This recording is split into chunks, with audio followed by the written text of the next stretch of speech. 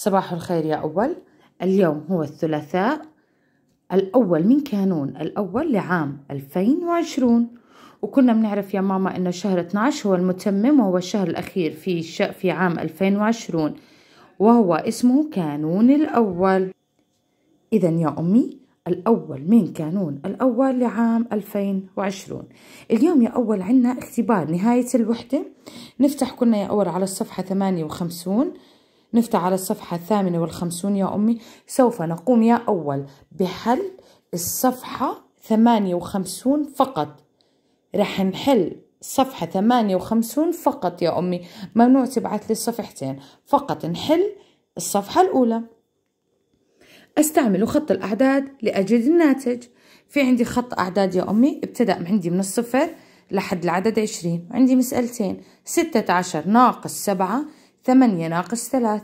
وكنا بنعرف يا أمي في حالة الطرح بننزل تنازلي. من العدد الكبير للعدد إيش؟ الصغير. بنحوط يا ماما العدد الكبير وبننزل كما تعودنا دائما. أجد ناتج الطرح مستعملا حقيقة الضعف. عندي ستة زائد ستة كم يساوي يا أول؟ واثنى عشر ناقص ستة كم بضل عندي؟ وكذلك الأمر هنا تسعة زائد تسعة شو بتعطيني؟ وإذا ثمانية عشر أخذت منها تسعة يا ماما إيش بضل معي؟ أجد ناتج الطرح بإيجاد عشرة. ركز يا ماما أجد ناتج الطرح بإيجاد عشرة. ستة عشر ناقص ثمانية. ستة عشر ناقص ثمانية. إحنا كيف تعودنا حكينا؟ الثمانية بتأخذ الستة الموجودة بالآحاد وعشان تصير ثمانية إيش بدنا نكمل على الستة؟ نعد بعقلنا ستة. سبعة ثمانية. إذا عديت اثنين. أخذنا الأحد يا أمي وكملنا اثنين. بصير عندي ستة عشر شو أخذنا منها؟ وإيش بعطيني؟ وعشرة يا ماما شو أخذنا منها؟ وكم ضل ستة عشر ناقص ثمانية. كم؟ بصير عندي الناتج. وكذلك الأمر في المسألة السادسة. أكتب الحقائق المترابطة للأعداد تسعة ستة عشر سبعة. إيش هم الحقائق المترابطة للأعداد؟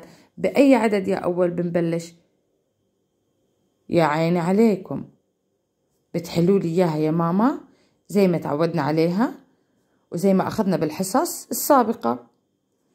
أجد العدد المفقود. عندي فراغ زائد تسعة يساوي أربعة عشر. كم بدي يكون عندي؟ إيش هو العدد المفقود؟ خمسة عشر ناقص ستة.